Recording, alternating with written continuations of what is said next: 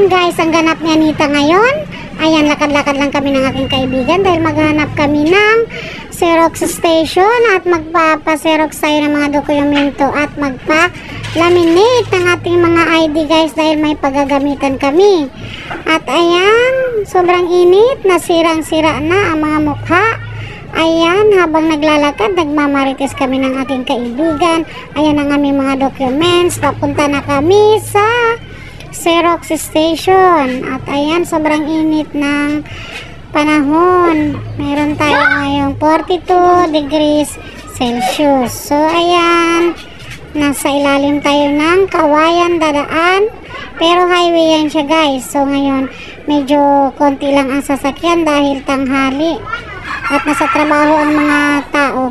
Sa unahan yan guys ay mga planta yan ng sardinas. Meron dyan Phoenix, meron Mega Sardines, may, merong Ligo. So ayan na, dumating na tayo sa Xerox Station. At ayan ang aking kaibigan, nakaupo na siya.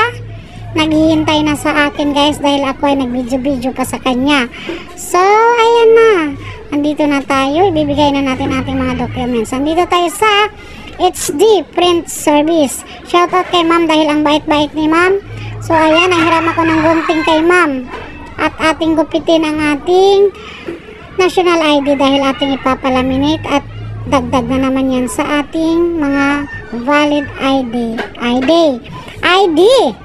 So ayan na, gupit-gupit lang, gupit-gupitin lang hinahinay lang para hindi magupitan ang hintuturo dahil ang hintuturo ay importanteng importante yan siya guys. So ayan lang.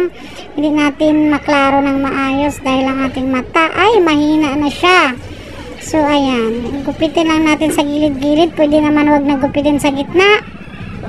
At ipapalaminate na natin. So malapit na siyang matapos. Ayan na. Sa gilid na lang ang kulang hinay-hinay lang para hindi tayo magupitan. So, ayan pa uwi na kami ng aking kaibigan. So, dito kami du dumaan sa shortcut at may pupuntahan pa kaming isang kaibigan. So, update namin kayo bukas kung ano ang paggagamitan ng amin sa mga documents.